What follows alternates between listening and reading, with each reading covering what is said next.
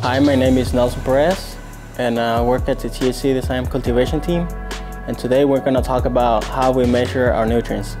The pH is how acidic or alkaline the solution is. Generally, the medium likes to be a little acidic and we can change the pH throughout the life cycle of the plant. But for this video, we're gonna keep it simple. If you're growing in soil, your pH should be uh, 6.2 to 6.5. If you're growing in rock wool, your pH should be at 5.5 to 5.8. At this facility, currently we're growing in rock wool. The first thing that we do is make sure the pH meter is calibrated.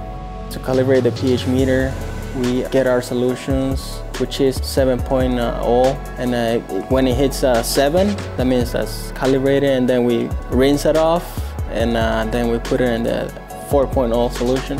Press the pH button and it calibrates and we gotta wait until it reads 4 so it's calibrated. We check the pH of the solution to make sure it's on range and if it's too alkaline we put pH down to make it more acidic and if it's too acidic we put pH up to make it more alkaline.